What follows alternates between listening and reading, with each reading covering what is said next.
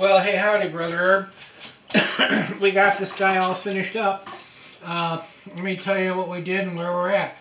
Um, you know, when we got it, it had some issues. It had a big dent in the font, bunch of stress cracks.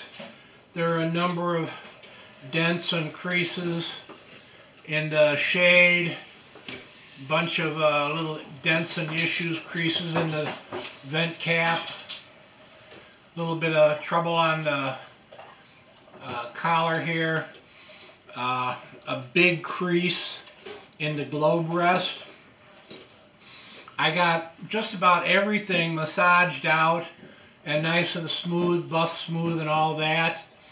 Uh, so it looks pretty good. I stripped off all the original nickel, gave it a, a copper base coat, plated copper base coat, and gave it all a fresh uh, nickel plate. So it's looking nice and bright and shiny. The only thing that I wasn't 100% happy with was there's one spot here where they had the big dent. I was not able to pull the dent completely out. So I filled the rest in with pewter and plated over that. And there's just a little bit of a murmur in the plating unless you're looking for it, you can't see it. But if you look for it, you can tell that something happened here, but it's not real obvious. Um, so anyway, I, it's looking really, really nice. I had to cast a new top loop for you. Um, in the process, I replaced all of the screws in the top here. These are exact same size as original but the original ones were so stuck in there that I couldn't get them out without mutilating the, the slots. So I got them out and I put fresh screws in.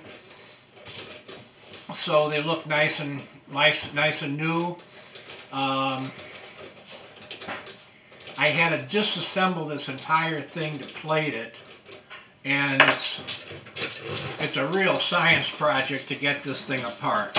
Got to take the clips out. Got to take these clips out. There's altogether, there's about 28 parts to make this thing go. So it's pretty labor intensive to take it apart and get it back together. But we did and it looks good. I got a uh, reproduction mica shade. Rob Butts makes these and they're exactly like the original. They're very nice.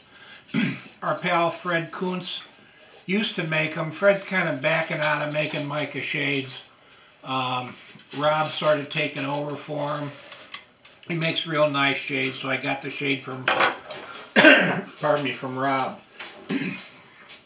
On your burner unit, um, I took it all apart. I stripped off all the old tarnish. The, the air tube, I took that down and nickel plated that. On the mixing chamber and the burner tubes, I didn't plate those. They weren't plated on the original. I just buffed those out.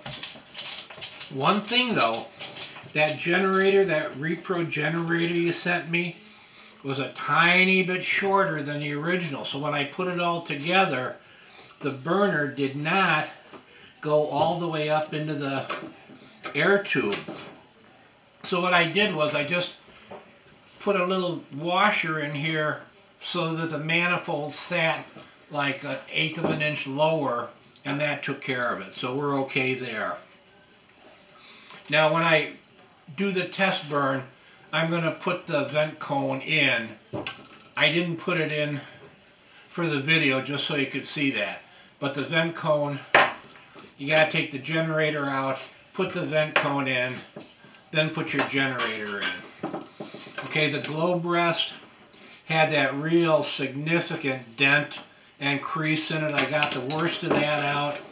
I don't know if you can see a little bit of a texture still left in it, but we're okay on that. The collar came out really, really nice. Bottom looks nice and original. So I think it came out really, really well. I'm pleased with this. Um, tomorrow I'm putting the vent cone on, putting fresh mantles on.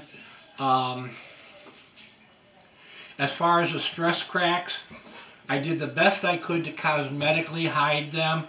They're still, you can still see them if you look for them, but they don't just jump out at you.